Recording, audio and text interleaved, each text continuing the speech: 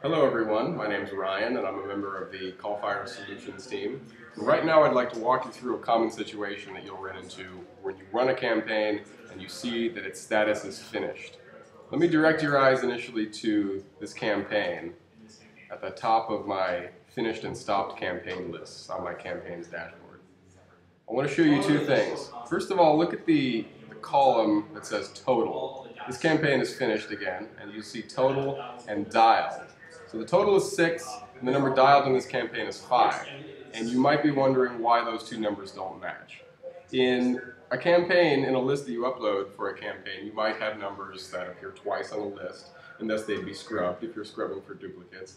You might also upload a list that contains some numbers that are on your internal CallFire do not call list, and those numbers would also be taken off. So some people occasionally will call in worried that the total dialed does not actually uh, match the total numbers that they uploaded.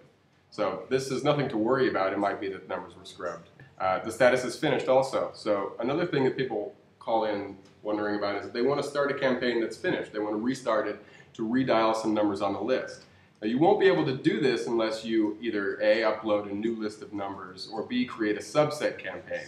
And in almost every case, when people call in saying they want to redial numbers on the list, they don't want to redial the whole list completely. They want to redial a subset of the list. So right now, we're going to create a subset of this campaign that I ran, so we can redial numbers that we didn't get to actually speak to live on this campaign. So I ran a cloud call center campaign at the standard level. So I was calling into people. I wanted to speak to them live. I wanted to give my pitch for uh, insurance, for example, perhaps.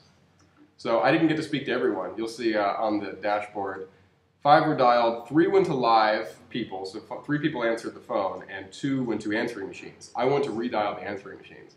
And if there were any no answers, meaning uh, calls that went to phones that didn't have voicemails or that were busy at the time, or that were errors or some other result, bad result that I, I don't want, I want to redial all those.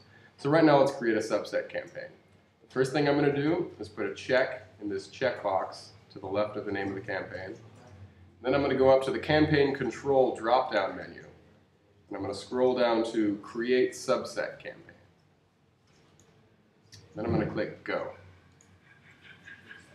So now I have two options. I can use the current campaign format, the current settings, meaning I would use the same sound file for the answering machine message and the same script, same multiple choice questions which is what I want to do because I just want to run the same campaign trying to redial the numbers that I didn't get to, the people that I didn't get to talk to on the original. So I'm going to click on yes, use the current campaign format.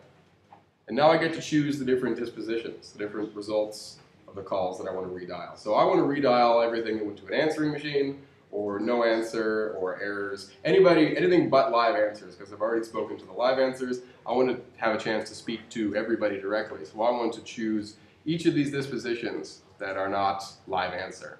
So I'm going to click on the checkbox for busy to include busy numbers, answering machine, no answer, errors, not dialed, abandoned calls, miscellaneous. That's everybody that I didn't get to talk to. So now CallFire is going to build a subset of my original list based on the results of the calls in the original campaign.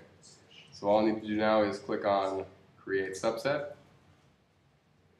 and we're going to go back to the campaign's dashboard and we'll see that we have a new campaign.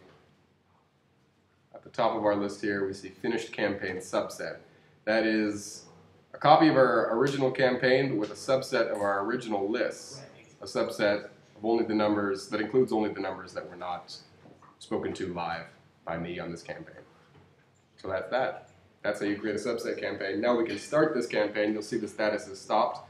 Now I can start this now it's running and I can log into it just like the other campaign.